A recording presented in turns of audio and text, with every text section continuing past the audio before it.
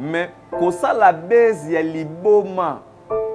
combien de personnes oyo bazali déçu que aujourd'hui là de voir pomba en train de marcher na kati ya fulu combien de personnes oyo bazali déçu mais eteya mpe bato ebele mais lelo pomba liboma lelo pomba liboma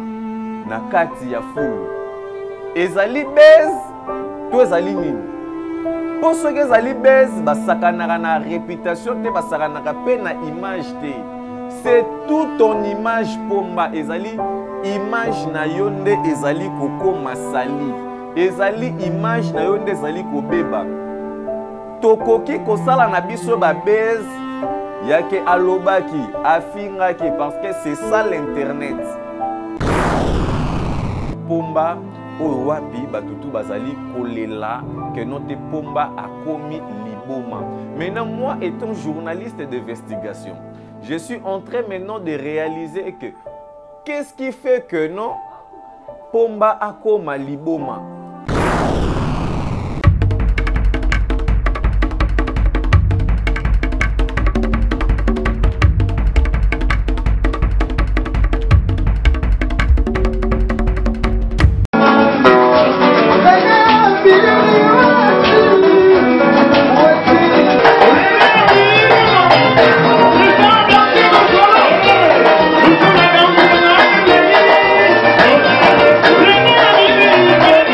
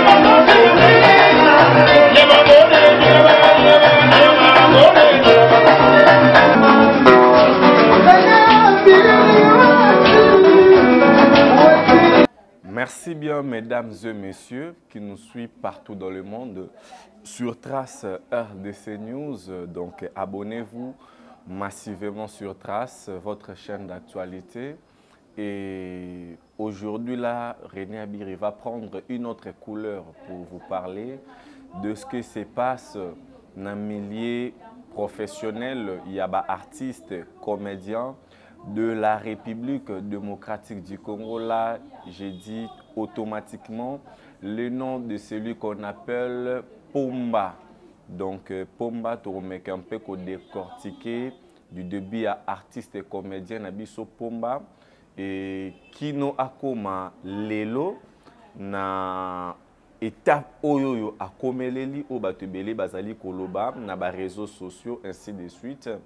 euh, moi personnellement René Abiri namoni ye te nake kotala ye te mais euh, je suis toujours obligé de parler de ça mpo na koyeba koéclaircir na bato tu oyo balingaka comédie na biso ya mboka baoyo basoutenaka yango de près ou de loin je sais que vous êtes vraiment tellement nombreux en train de nous suivre merci à toi euh, Didier Omeonga patron de patron full boss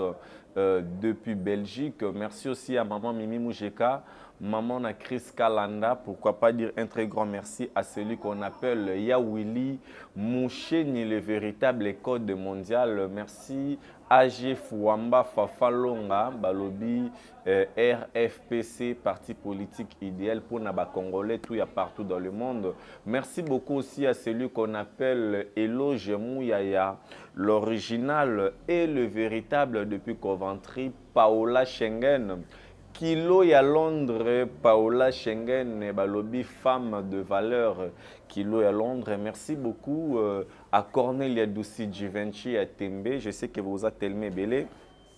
Et nous le savons tous très bien que nos parcours top et vie actuelle aujourd'hui la situation financière na kati mboka na biso ezali vraiment un peu difficile au wapi moto na moto azali koluka façon nini ya ko s'en sortir na vie il y a de ceux oyo bazali ko se mettre na misala oyo babengi ntango mosusu bamisala moko administrative bien sûr que ezali kotambola na mwa kokoso mais quand même ne fils que un petit rien ezali koservir bango kaka ndenge balobaka toujours na adage que non soso aliaka eloko oyo ekoki na mongongo na ye donc eloko ekoki na mongongo na ye te akoki komela yango te e alors ebele ya congolais, ebele ya artiste et comédien je pense que c'est vraiment un vent où tout le monde veut devenir star où tout le monde veut toujours prendre le caméra soit téléphone on pour utiliser pour mettre des informations il y a des ceux bazali koutiliser pour kofinga il y a de ceux bazali utiliser tout ça là c'est pour chercher à être toujours connu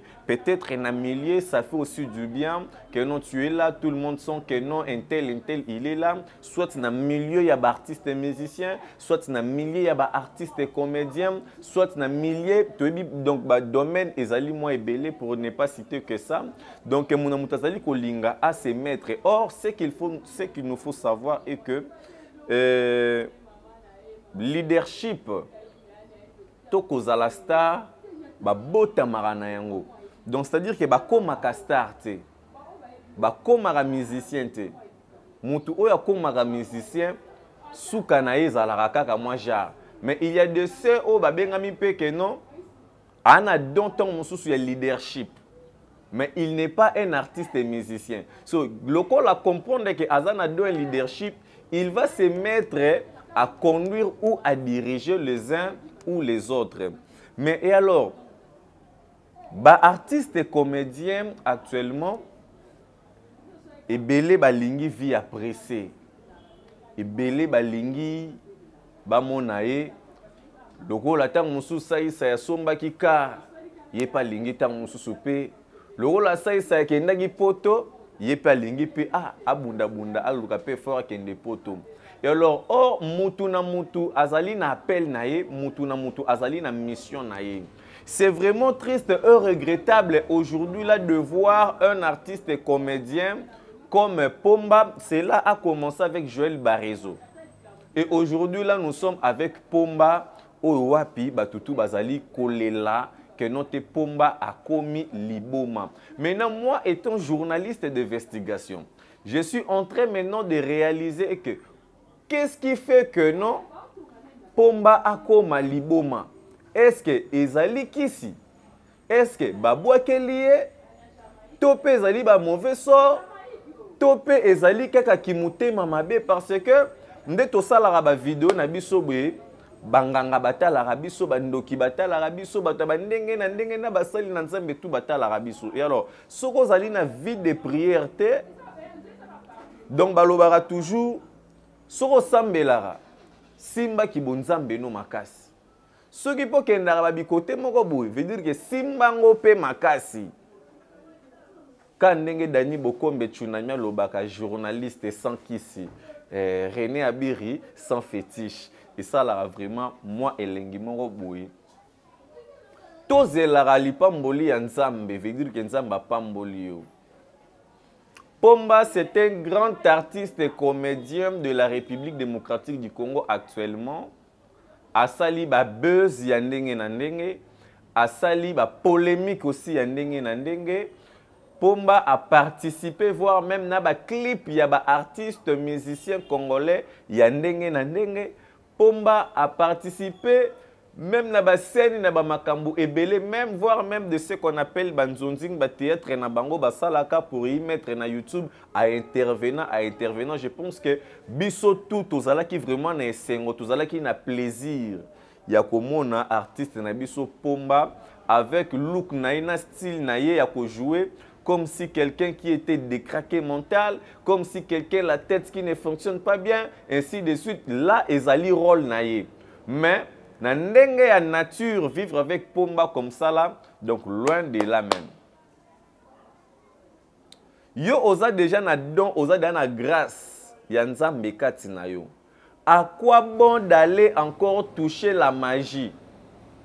mpo deja okóma kaka ntango mosusu na étape oyo oza nango wana c'est dieu sikoyo tala nanu nsima place owuti il y a combien des artistes comédiens oyo mpe bayebi boulot koleka bato tu oyo toyebi me nano babimi te baza lokola bareserve de l'éternel pour ce pays veudire ke bakala mpe te todecouvrir bango yango wana balobaka toujours na vie konéglige mutu te mpo lobi ya mutu on ne sait jamais ata osimbi bakisi yango ya ndeni ozalaka ntango mosusu na succès te koleka michael jackson Parce que mutu na mutu azali na temps na ye, mutu na mutu azali na appel na ye. Pomba vient de là, awuti vraiment na se, abandi komata, biso tu tomoni nde Pomba abandi komata. So kotombwama ya Pomba ezali kisi to eza nini? Je me demande beaucoup de questions. Sincèrement parlant, Pomba vraiment, c'est un artiste et comédien que nga René Abiri. Nazwa tant, tant vraiment kosolola na ye te, mais nabwakelaki ka toujours ba fleurs. Mais lelo Pomba liboma, lelo Pomba liboma na kati ya fulu. ezali base to ezali nini mpo soki ezali base basakanaka na reputation te basakanaka mpe na image te c'est tout ton image pomba ezali image na yo nde ezali kokoma sali ezali image na yo nde ezali kobeba tokoki kosala na biso babase yake alobaki afingaki parce que c'est ça l'internet mutu to na besoin ke amona tanso mwa droit de réponse à côté mo bebimelaki boye tout ça là mais kosala base ya liboma combien de personnes oyo bazali déçu que aujourd'hui là de voir pomba en train de marcher na kati ya fulu combien de personnes oyo bazali déçu mais eteya mpe bato ebele tokokende na makambo ya boye ti wapi mais j'aimerais produire question, euh, quoi, conseil na bandeko nyonso tu oyo bazali koya secret ya succès na vie to mpe na domaine nyonso tu oyo okoki kozala na yango mpo un jour okóma liboma te eza kaka mosala na kokangama na nzambe eh, wana vraiment fin mission quoi bato ebele bamitunaka bazwa temps kokanga bato ebele bajournaliste ebele bakanga moto banda na bango baserie moko ainsi de suite bacachet judiciaire ebeba me bato ebele bamituna me mpo ani bakanga arena biri te bolamu eleki ebele bolamu eleki ebele nazwi totala vi na nga moko mosusu nsima na vi na nga kasi nakoki te mpo eleki ebele bolamu ya nzambe bolamu ya kolo nalalaki nayebaki te Nkolo oza pembeni na ngai nanimbataka nimbaka te ntongo pokwa kobatela ngai vedire ke nzambe abatelaka nzambe vraiment aza elengi naloba yango bien na bulo oyo tosalaka soki oyebi nzambe te c'est facile batente yo c'est facile bakanga yo C'est facile parce que moto ya kisi bakangaka ye kaka na moto ya kisi moto ya kisi balokaka ye mpe kaka na moto ya kisi boyebi yango te yo ozalaka no na bakisi na yo ozoluka sikoyo makambo moto oyo sikoyo bozoswana na ye amultiplie lo bapuissance parce que c'est ça la fétiche aye na bakindoki moko ya baodela a compliqué au vie la crainte de Dieu c'est le commencement de la sagesse nasengi na famille ya artiste comédien na biso pomba meme na troupe théâtrale na ye botika ye te bonéglige ye te nayebi ke akobika joel bareseau mpe abelaka liboma Joël Barezo abikaki. Azali premier artiste comédien te ya kobela liboma na kati ya mboka oyo. Bien sûr que ekodimine ekosala makambo ebele mais ekoetouffe grâce oyo aza nango te kati na ye. nayebi ke okoemerge okende encore plus loin mais baartiste comédien totika nde kisi baartiste comédien Botika nde kisi parce que ça ne paye pas et okende na yo nulle part. ekozala bien yango wana nalobaka toujours il ne faut jamais faire des choses pour plaire aux gens parce que ntango osala makambo mpo na kosepelisa bato ya mokili ka bato wana oyo baoloba na yo e eh, kitoko e eh, kingani mokolo ozala na erreur mokolo ozala na gafe kaka bango wana nde bato ya liboso ya kobanda kotambwisa sango no ntango mosusu na bandenge moko boye na bafaso moko boye il faut kosala makambo mpo na bien-être na yo moko lokola ndeti nga rena biri likambo so eza na intere na nga mpo na bien na nga moko nakosala yango nakosala makambo te mpo na intere so mpe ya keno nasepelisa bato te Parce que son asepelisi yo lelo mosusu wana kuna koyina nga o kuna koyina o kuna komeprise c'est-à-dire que moto aza nzambe te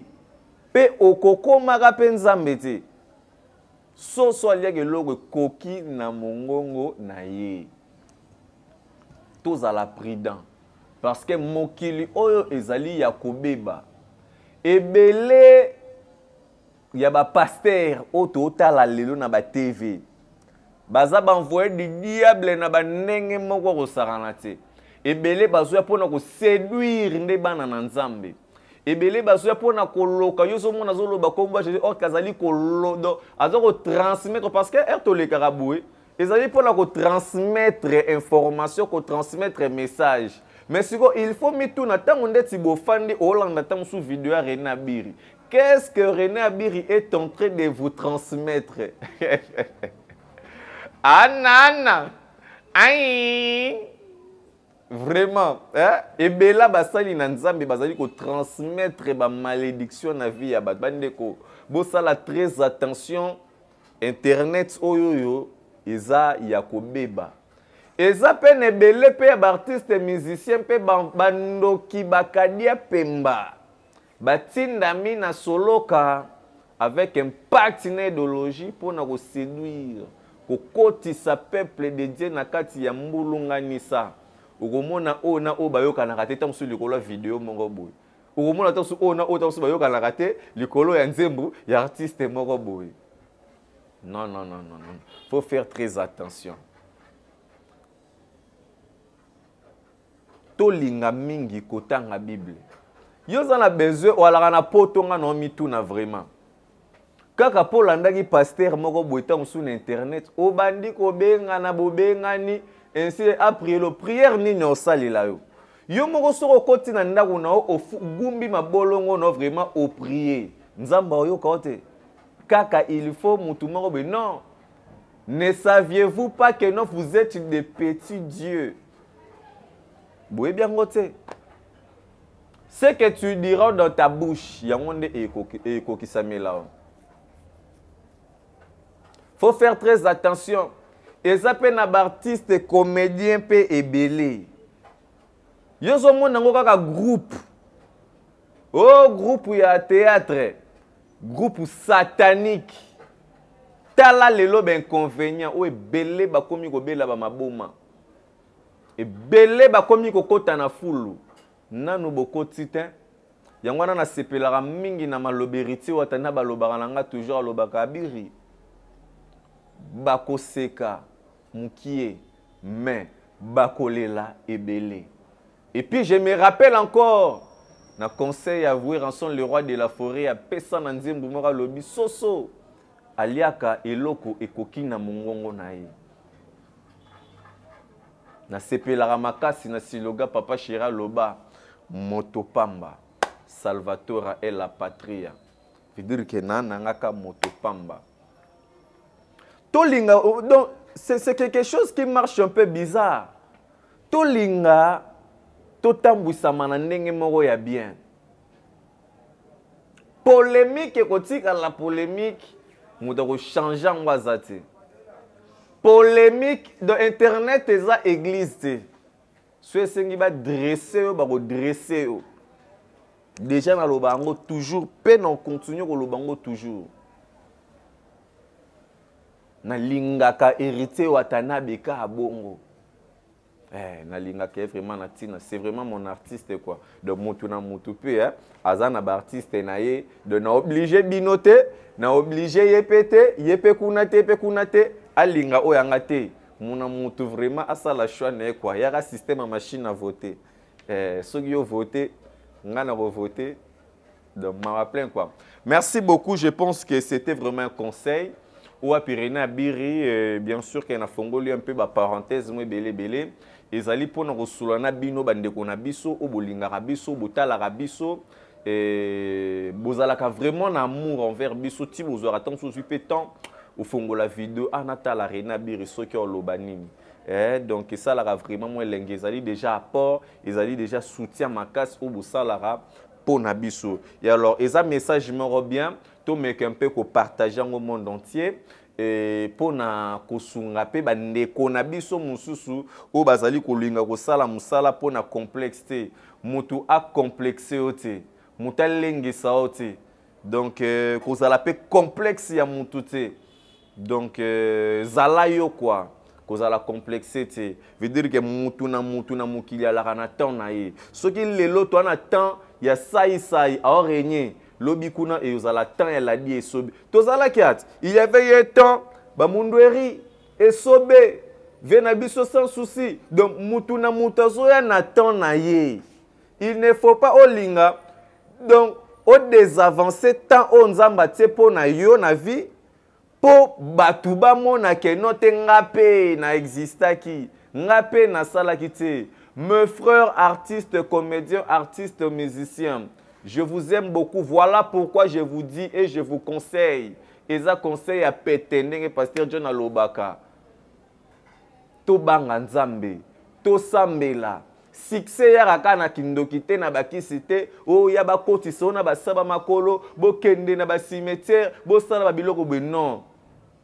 le seul vrai mutu oyo apesaka succès mpe atombolaka mutu na temps na ye mpe na temps réel Kolinga to brutaliser ba etapes, vieux escalier. To mata ba escalier biso nyonso, yo zo lingo sauter okoma na dixième étape yango makolo yango yo alaka nango vraiment ata l'homme le plus géant du monde ah nga nzambe vraiment nayebi te quoi eh, ata ko makolo yango vraiment hein?